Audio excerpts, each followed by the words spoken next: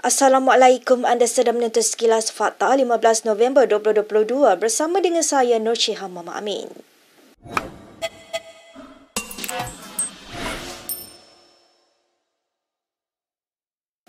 Berbekal empat hari sebelum pengundian, Rafizi Ramli menjangkakan PH sudah mempunyai 90 kerusi dalam tangan dan sedang cuba untuk mendapatkan 100 kerusi.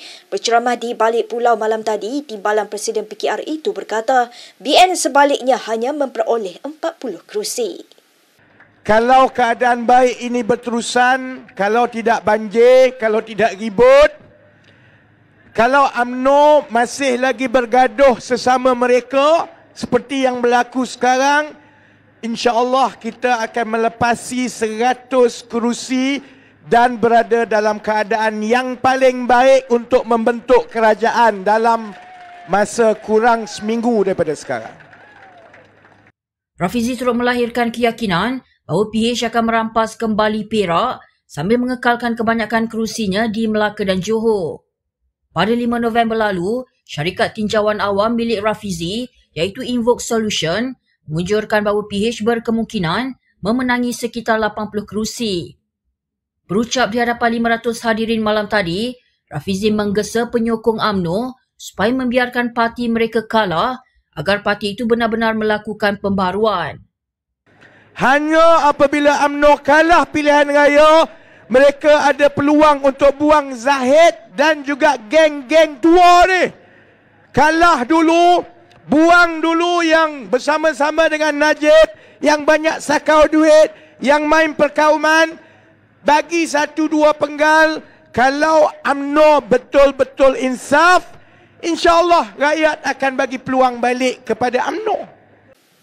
Jika Ismail Sabri Yaakob menjadi Perdana Menteri seterusnya, dia juga perlu dilantik sebagai Presiden AMNO, kata Khairi Jamaluddin.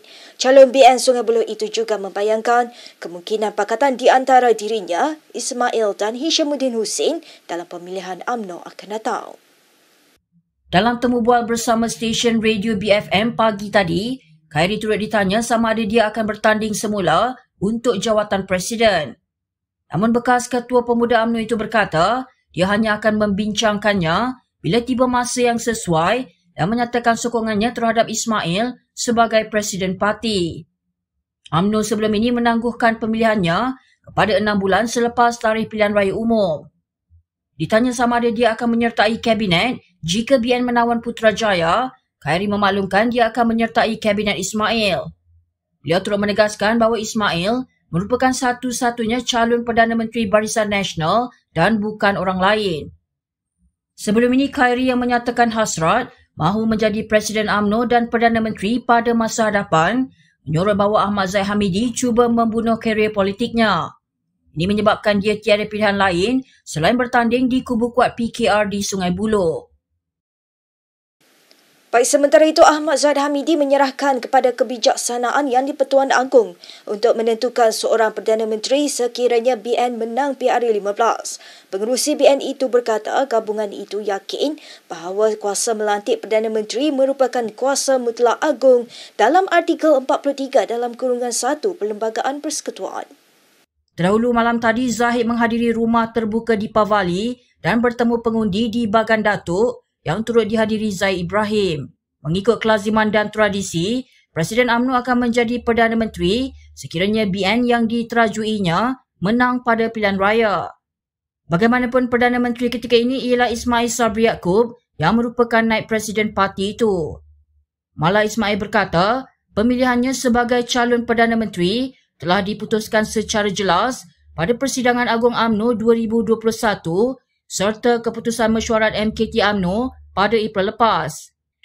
Sementara itu, Zahid turut ditanya mengenai serangan pemimpin Perikatan Nasional yang terus mendakwa bahawa dirinya akan mengadakan kerjasama dengan pengurusi PH Anwar Ibrahim untuk menubuhkan kerajaan pusat.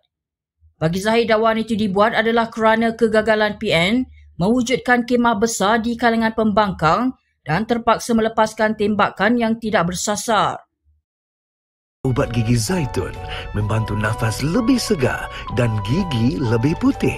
Ubat gigi Zaitun untuk seisi keluarga. Zaitun, gunakan tanpa was-was. Baik kita ke perkembangan berikutnya. Pengerusi PN Muhyiddin Yassin hari ini menyanggah kenyataan salah seorang pemimpin kanan parti komponen gabungan itu berhubung isu kerjasama dengan BN. Menurut Muhyiddin, dia tidak pernah memberi mandat kepada Setiausaha Agung PAS Takiuddin Hassan untuk bertindak sedemikian. Mengulas lanjut Muhyiddin berkata, tujuan PN bertanding pada PRU 15 adalah untuk membentuk kerajaan tanpa perlu bergabung dengan BN atau PH.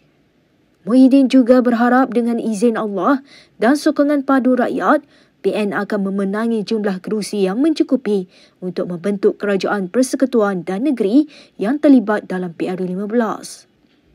Terdahulu Takiuddin berkata kemungkinan PN akan membentuk kerajaan persekutuan dengan BN jika gagal memenangi kerusi mencukupi pada 19 November ini. Pada masa yang sama, Takiyuddin yang juga calon PN untuk kerusi Parlimen Kota Baru menegaskan gabungan itu tidak akan menerima bekerjasama dengan PH.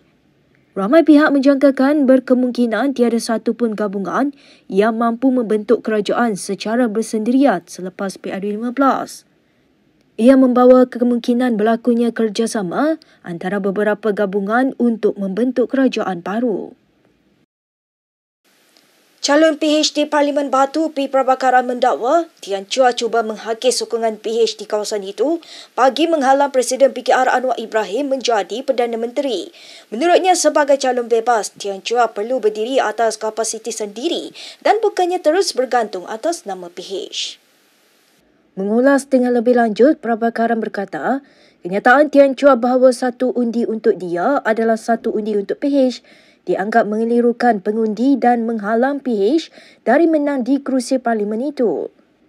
Tambahnya lagi, walaupun berdepan dengan kemungkinan tewas di Batu, dia tidak terpengaruh dengan tindakan Tian Chua yang menarik sokongan penyokong PH dan akan tetap memastikan PH kekal menyandang kerusi tersebut.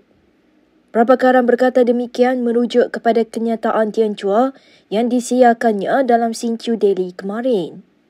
Terdahulu Tian Chua yang merupakan bekas ahli Parlimen Batu selama dua penggal itu tidak dicalonkan dalam PRU 15 kali ini selepas tewas kepada Prabakaran dalam pemilihan cabang parti.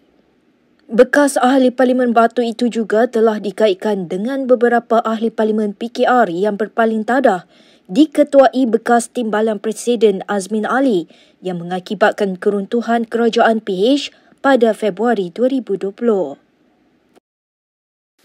PDRM membuka kertas siasatan ke atas pelakon Zul Huzaimi susulan kenyataan kontroversi yang disifatkan berbau perkauman.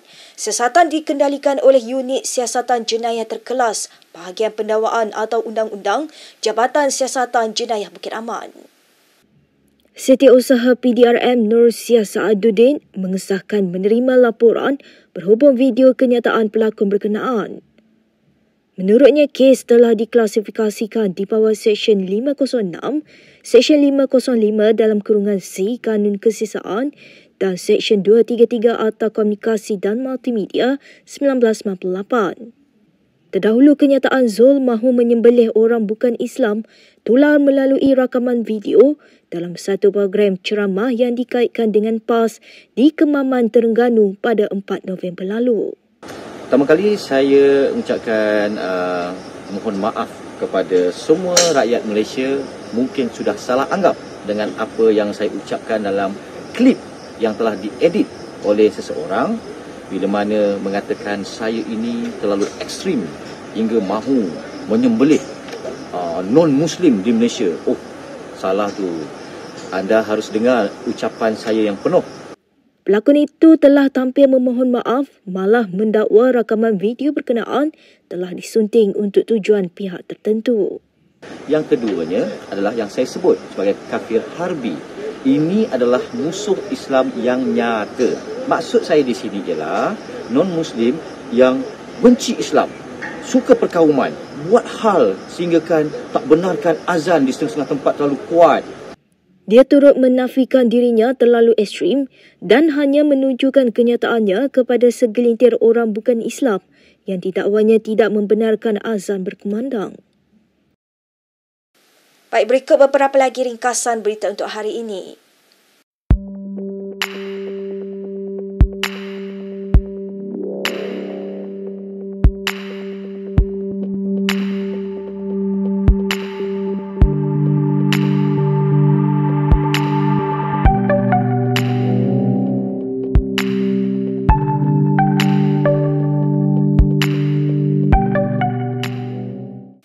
Sekian sahaja daripada saya Nur Syihah Mama Amin untuk sekilas fakta. Untuk lebih banyak berita anda boleh melayari kinitv.com. Anda juga boleh mengikuti kami di Instagram, Twitter, YouTube dan Facebook. Salam hormat dan jumpa lagi.